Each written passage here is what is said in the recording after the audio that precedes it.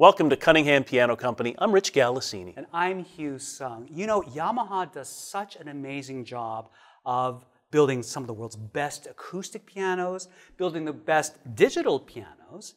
And here we've got a great example of the combination of both a great digital piano and a beautiful acoustic piano form factor. This is Yamaha's CLP665GP. GP standing for? Stands for grand piano, Hugh. That's right. And the grand piano lid, just like a traditional piano. Um, grand piano case. It really is a beautiful piano for folks who want a traditional grand piano but don't have the space for it because and don't necessarily have to invest the same amount of money either. Right. And now acoustic grand pianos normally start about five feet mm-hmm. you know, from the keyboard to the tail. Yes. This one is about what do you think? It's pretty narrow. About three foot nine. But you still have the aesthetics, a traditional aesthetic. But of course, you never need to tune this piano, which is really really cool. Now, just because this is a digital piano doesn't mean you're necessarily compromising on the sound the touch or the performance. There's some amazing features of this wonderful instrument. So I can see why we have so many customers asking us about this particular piano. Talk, let's talk a little bit about the sound. Sure, I'm very, very happy to. Yeah. So the sound themselves, we're talking about the Yamaha CFX, which mm-hmm. is their new concert grand, which has just been wonderful. Uh, the Bösendorfer Imperial. And you know, each one of these samples are also modeled. Mm-hmm. So sampling is a picture of sound. And modeling is shaping that sound to give us a much more realistic final result. So depending on how a pianist might lift their foot on a damper, it will change, they call that Yamaha smooth release. Mm-hmm. Uh, virtual resonance modeling, which takes into account the cabinet, the strings, the soundboard, the pedals, the aliquot, which is like the duplex scaling, the rims, all of these parts of the piano affect the sound differently depending on what you do as a pianist. I think the, the summary of what you just said, that's a lot of stuff there. Mm-hmm. What most folks don't realize, and I think even a lot of professional musicians don't necessarily realize, is that playing the piano is more than simply pushing a key and hearing the hammer strike the string. Because as you said, there are other strings that vibrate sympathetically to that string. Mm-hmm. The case vibrates a certain way, the dampers, whether they're up or down. There's so many variables that make the piano sound so different depending right. on these different conditions mm-hmm. pedals, the dampers, the keys, all these different things. And Yamaha's taking all of that into account.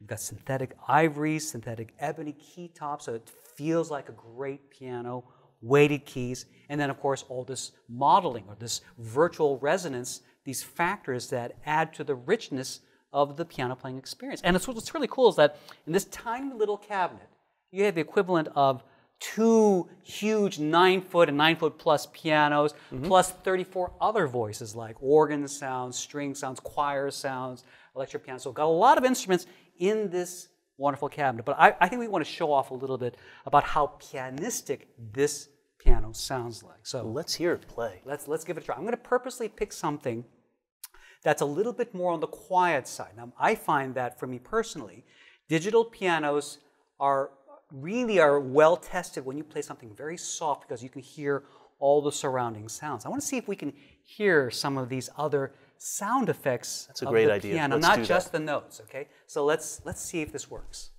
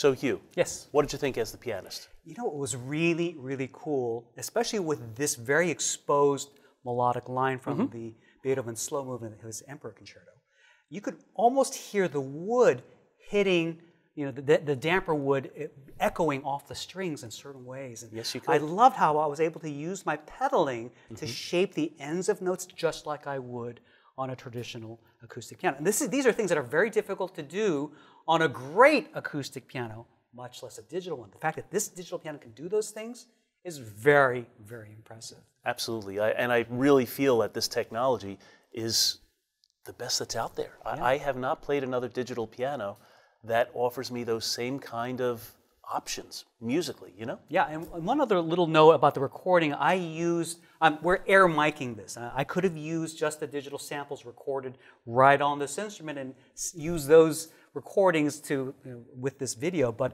I wanted to try to emulate as much as possible what this piano actually sounds like with the lid up, with the real microphone, as just like I record my acoustic piano. So to translate that, we're using microphones outside the piano just like we would with an, with an acoustic instead of taking the sound directly line out out of a digital product like you could.